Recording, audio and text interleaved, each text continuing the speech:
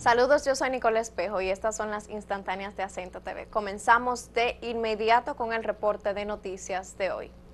Cuatro delatores del caso Calamar señalaron al diputado Sergio Moya Goris como uno de los coordinadores del esquema de extorsión a las bancas de lotería, uno de los apéndices delictivos del supuesto entramado de corrupción destapado.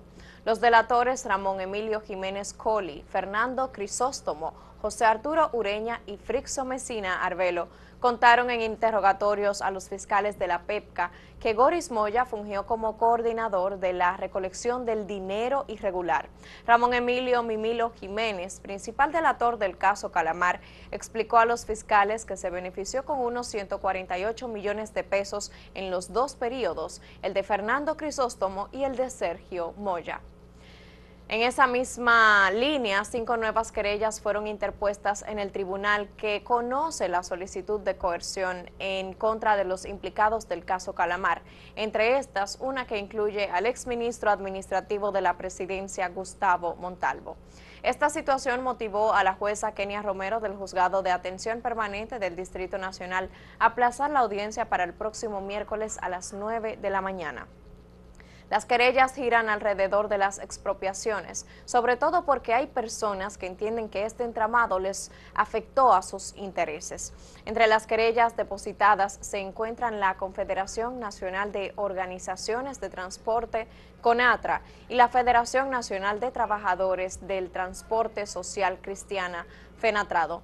La querella acusa a Montalvo y demás imputados de usar el dinero de un impuesto adicional de dos pesos por galón al consumo de gasolina y gasoil regular y premium. Otra querella fue interpuesta por José René Gutiérrez Gatón y Rosa Esterlina Gatón.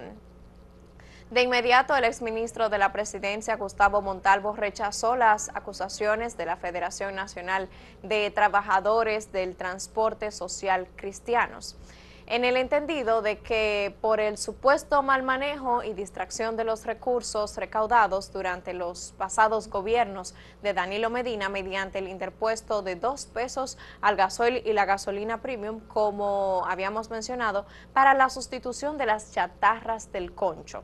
En un comunicado, Montalvo puntualizó que el Ministerio de la Presidencia durante su gestión nunca intervino en la asignación de recursos provenientes del Fondo de los Combustibles, que tampoco se compraron o gestionaron adquisiciones de entidades militares o policiales y que ninguna auditoría o informe de funcionario alguno reportó irregularidades de carácter penal en las operaciones del Ministerio de la Presidencia ni del 911.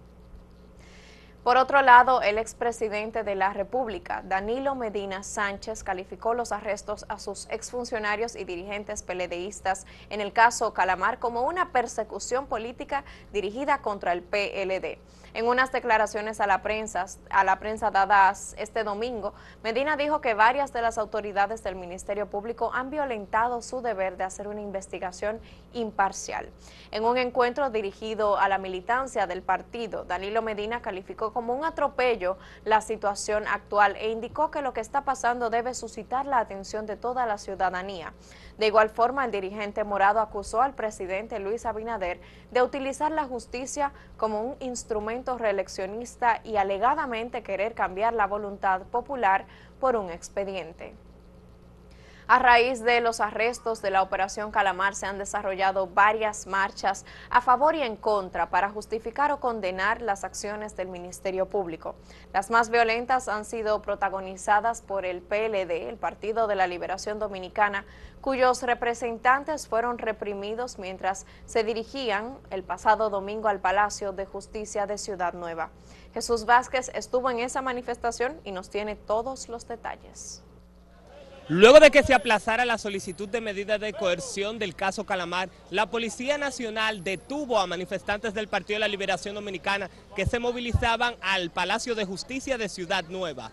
Agentes contra motines de la uniformada sofocaron ayer una marcha de dirigentes y militantes del Partido de la Liberación Dominicana que se dirigía desde la Casa Nacional de esa organización hacia el Palacio de Justicia de Ciudad Nueva. El humo y los gases lacrimógenos invadieron todo el tramo de la avenida Independencia entre las calles Presidente Vicini Burgos hasta la calle Cervantes. El caos se apoderó de los negocios que se encontraban en los alrededores mientras los oficiales seguían avanzando sin dar marcha atrás. Durante la conmoción, una de las bombas lacrimógenas penetró por el cristal trasero del vehículo de la regidora peledeísta Fiordalisa Pichardo. La servidora pública calificó el hecho como un atentado contra su vida. La situación fue que atentaron contra mi vida porque yo vine en ese asiento cuando yo estaba adelante apoyando a mis compañeros. Mire el asiento aquí, mírelo. En ese asiento era que yo venía. Sobre el incidente, varios dirigentes del partido mostraron su indignación por lo sucedido. Nosotros eh, no alteramos el orden, sencillamente veníamos pacíficamente. Entonces, como es un gobierno intolerante, porque aquí ya estamos en una dictadura, él está replicando todo lo de Daniel Ortega en Nicaragua, lo está replicando aquí en la República Dominicana. Bueno, fue diferente y peor que la que yo pasé, que la que pasamos y yo el miércoles pasado. Yo fui la diputada que ellos partieron y hoy está peor. Pero lo cierto es eh, que se está viendo lo que nunca se vio en la República Dominicana. El presidente Abinader se ha dado la tarea de que cada marcha pacífica que el Partido de la Liberación Dominicana quiere llevar a cabo, la están agrediendo. Y muestra es lo que ustedes han visto en el día de hoy. Hemos sufrido todo tipo de agresiones. Hasta el momento el caso Calamar agrupa a más de 20 personas entre exministros y exdirectores que estaban en la gestión pasada de Danilo Medina. Para Acento TV Jesús Vázquez. La vicepresidenta de la República, Raquel Peña, aseguró este lunes que el gobierno que encabeza el presidente Luis Abinader ni el PRM han apoyado represalias contra manifestantes del PLD que fueron eh, dispersados con bombas lacrimógenas donde durante las protestas en las inmediaciones del Palacio de Justicia y de la Casa Nacional del Partido Morado. Insiste en que el PRM no ha mandado a nadie a hacer ningún tipo de disturbios. Eso yo puedo decir lo siguiente. Nuestro gobierno encabezado por el presidente Luis Abinader en ningún momento va a apoyar ningún tipo de represalia. Eh, todo el mundo tiene derecho a protestar de manera pacífica, pero también nosotros como gobierno pues tenemos la necesidad de garantizar lo que es la paz social y la seguridad de todos los dominicanos. Entonces vamos a vivir en, en todo el mundo pues respetando los derechos del otro. Y así ustedes van a dar cuenta que podemos nosotros seguir caminando hacia una mejor República Dominicana. ¿Los temas a tratar en la reunión del Parlamento, vicepresidenta? Imposible, imposible.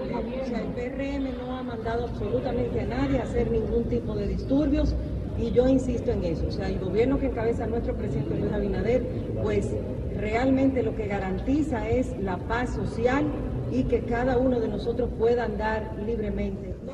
Cualquiera de nuestros programas los puede sintonizar en acentotv.do. Es la página web oficial de nuestro canal y donde va a encontrar todo el contenido que aquí se produce. acentotv.do, la página web de Acento TV.